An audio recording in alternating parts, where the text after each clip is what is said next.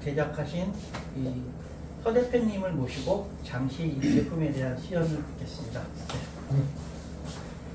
안녕하십니까 모노코스틱 대표 우리가 어떤 환경에서 들으실지 모르겠지만 요거 한 대로서 굉장히 큰 환경, 작은 환경, 룸이든 뭐 3.5회이든 또 4회이든 여러 가지 방법으로 세팅이 가능한 그런 재미가 있습니다. 그래서 4웨이는 클래식이라든지 그런 데 좋고요.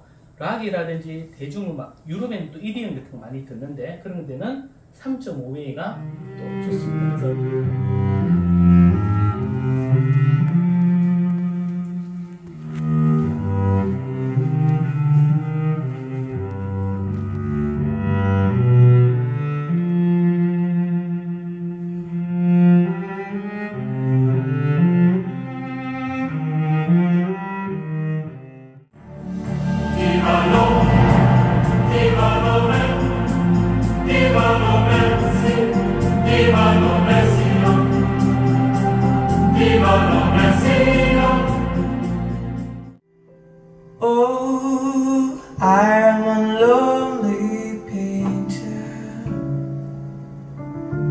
I live in a box of paints.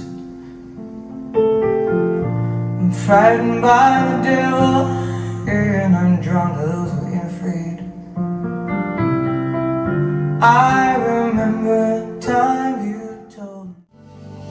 거기 부러진 나무 등걸에 걸터 앉아서